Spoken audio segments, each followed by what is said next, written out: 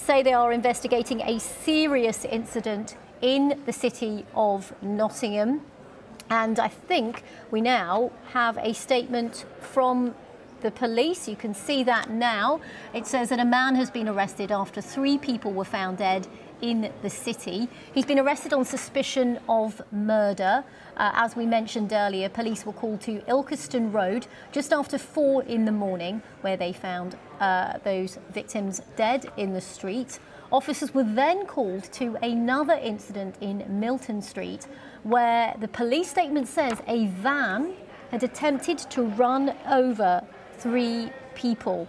Now, those three people are currently being treated in hospital. Also, we've been told that another man has been found dead in Magdala Road.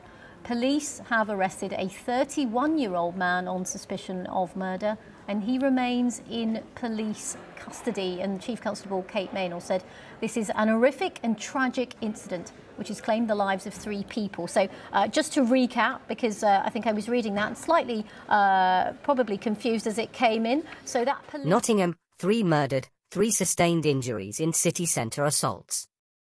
Three individuals have been murdered, an additional three have sustained injuries in linked, horrendous and catastrophic incidents in Nottingham. Two persons, alleged to have been knifed, were located deceased by police in Ilkeston Road just after 4 o'clock British summer time. Cops were then called to Milton Street where a van had tried to trample over three individuals. The Old Bailey, who have detained a bloke as a prime suspect of killing, subsequently discovered a man lifeless in Magdala Road. The 31-year-old male is in police custody and numerous cops barricades are in position in the city centre. Police said the three persons who sustained injuries in the van run-over attack in Milton Street were being attended to in hospital. Warning, individuals may discover some of the facts in the account distressing. Chief Constable Kate Meynell, from Nottinghamshire Police, said their department trusted all three occurrences were connected. I quote, This is an horrific and tragic incident which has claimed the lives of three people, she said. This investigation is at its early stages and a team of detectives is working to establish exactly what has happened.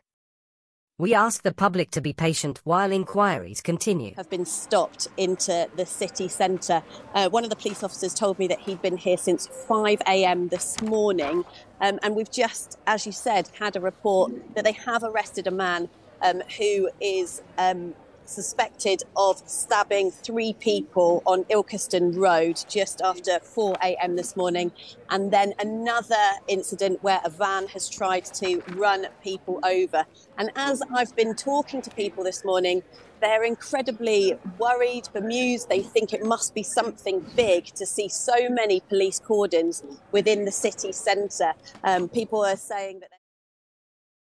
Please join the conversation. Put your comments and suggestions below in the comment section. Thank you for subscribing to this news channel. You will be notified of any breaking news and new post as you become part and parcel of the TAO Media family. Please like and share TAO Media. We love you all. Please support TAO Media Foundation by joining membership and visiting Amazon UK to purchase the displayed books to aid our orphanage projects across Africa.